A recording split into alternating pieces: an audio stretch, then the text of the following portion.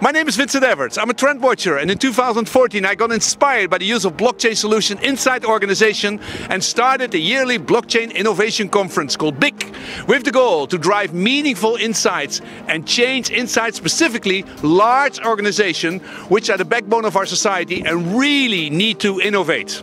On June the 7th, 2019 we will organize the sixth annual event of BIC 19 which will be hosted by ABN AMRO more than 350 national and international pioneers from startups, scale-ups, public academia and private sector will dive deeper into practical changes which blockchain technology is bringing.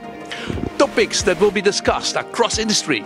Themes include the world of finance, sustainability, government and identity. And of course there will be again the Blockchain for Good session. According to Bloomberg, a free trillion dollar opportunity. And it's hosted in the Circl building, a sustainable and circular place built by ABN AMRO. Yuri Hendricks, uh, Manager Blockchain Lab. Why do you host the Blockchain Innovation Conference this year?